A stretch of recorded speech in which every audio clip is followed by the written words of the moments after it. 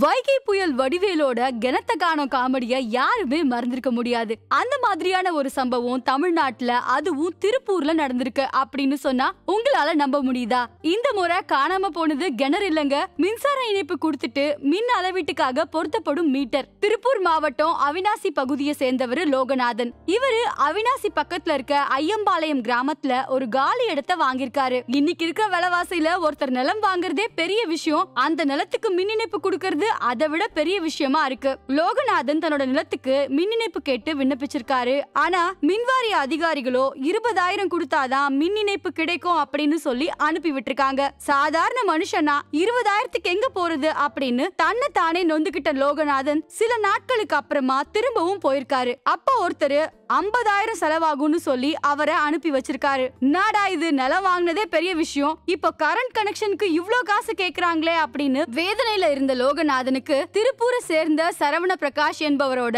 அறிமுகம் கிடைச்சிருக்கு. சமூக ஆர்வலரான சரவண பிரகாஷ் லஞ்சம் கொடுக்காம எப்படி அரசு அலுவலகங்கள்ல ஒரு விஷயத்த செஞ்சு முடிக்கிறது தொடர்பான விழிப்புணர்வை மக்கள் கிட்ட ஏற்படுத்திட்டு வராரு. அது மட்டும் இல்லாம தகவல் அறியும் உரிமை சட்டம் மூலமா எப்படி தகவல்களை பெறுறது லஞ்சம் கொடுக்காம எப்படி லைசென்ஸ் வாங்குறது லஞ்சம் கொடுக்காம எப்படி மின் இணைப்பு வாங்குறது அப்படின்னு பல விதமான விஷயங்களை தன்னோட ஃபேஸ்புக் பக்கத்துலயும் விழிப்புணர்வு கூட்டங்களின் மூலமாவும் பொதுமக்கள் கிட்ட பேசி விழிப்புணர்வை வழங்கிட்டு வராரு. இவரோட அறிமுகம் லோகநாதனுக்கு கிடைச்சிருக்கு. லோகநாதனோட காலிமன மின் இணைப்பு பாதையிலிருந்து கொஞ்சம் தள்ளி இருக்கு. அதனால கூட லோகநாதனுக்கு கொஞ்சம் தயக்கம். அதுக்கப்புறமா சரவண பிரகாஷோட அட்வைஸ கேட்டு மின்வாரிய இணையதளத்துல போய் தன்னோட நிலத்தோட விவரங்களை கொடுத்து மின் இணைப்பு கேட்டு விண்ணப்பிச்சிருக்காரு. இந்த சம்பவம் நடந்தது ஜூன் மாசம் இருபத்தி அஞ்சாம் தேதி. ஆன்லைன்ல மின்சார இணைப்புக்கான கட்டணமா வெறும் மூணாயிரம் மட்டுமே வசூலிக்கப்பட்டிருக்கு.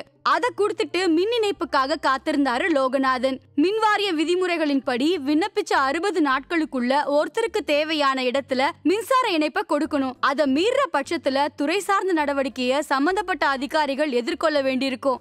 ஆனா திருப்பூர் மாவட்ட மின்வாரிய அதிகாரிகளோ எந்த கவலையும் இல்லாம மின் இணைப்பை கொடுக்காம இருந்திருக்காங்க. கடந்த ஏழாம் தேதி லோகநாதனுக்கு ஒரு மின்னஞ்சல் வந்திருக்கு. அதுல என்ன சொல்லிருக்காங்கன்னா உங்க இடத்துக்கு மின்சார இணைப்பு வழங்கப்பட்டிருக்கு. இது உங்களோட மின் இணைப்பு எண் அப்படின்னு தெரிவிக்கப்பட்டிருக்கு. என்னடா இது நமக்கே தெரியாம நம்ம இடத்துல எப்படி மின்சார இணைப்பு கொடுத்தாங்க அப்படின்னு யோசிச்சபடியே அந்த இடத்த சுத்தி பார்த்திருக்காரு லோகநாதன். ஆனா எங்கேயுமே மின் இணைப்பு கொடுக்கப்பட்டதுக்கான அடையாளமே தெரியல. இப்படி ஆயிடுச்சேன்னு திரும்பவும் திருப்பூர் சரவண பிரகாஷா நாடி இருக்காரு அவர்கிட்ட என் நிலத்துக்கு மின் இணைப்பு வரணும் அப்படின்னா ரெண்டு கம்பங்கள் நடணும். அதுவும் நடல. எதுவுமே செய்யாம எப்படி இணைப்பு வழங்க முடியும்? அப்படின்னு கேட்டிருக்காரு. அதுக்கு சரவண பிரகாஷ் சமாதானம் சொல்லி அந்த இடத்துக்கு ஆள் அனுப்பி பார்த்திருக்காரு. அவர் சொன்னது மாதிரியே எந்த மின் இணைப்பும் வழங்கல. ஆனா இணைப்பு எண் மட்டும் மின் வாரியம் சார்பில் ஒதுக்கப்பட்டிருக்கு. சரி மின் இணைப்பு இருக்கே அப்படின்னு உள்ளூர்லயே மின் கட்டணத்தை செலுத்தி ரசீதை வாங்கிக்கிட்டாரு சரவண பிரகாஷ் இந்த ரசீதை எடுத்துட்டு போன லோகநாதன் தமிழக காவல்துறை இணையதளத்துல போய் ஒரு புகார பதிவு செஞ்சாரு. வடிவேலு கிணறு வெட்டின ரசீதை வச்சுக்கிட்டு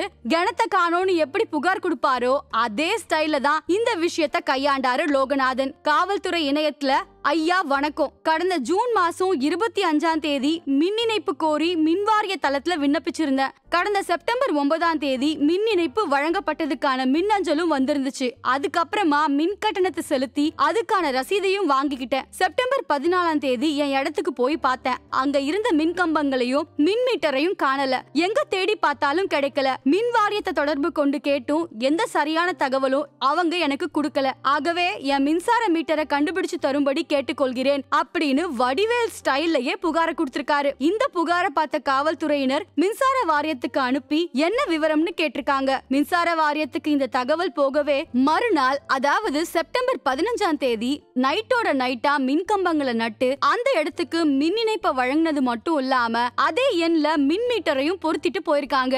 மின் வாரியத்துல எதுக்கெடுத்தாலும் லஞ்சம்னு பொதுமக்கள் அச்சத்தோட அரசு அலுவலகங்களை அணுகும் சூழல்ல லஞ்சம் கொடுக்காம எப்படி மின் இணைப்பு வாங்குவது அப்படின்றத அவர் ஏற்படுத்தின வழிமுறை பொதுமக்களுக்கு சிறந்த வழிகாட்டுதலா இருக்கு. இந்த விஷயத்தின் மூலமா லோகநாதனுக்கு நிறைய பாராட்டுகளும் வந்துட்டு இருக்கு.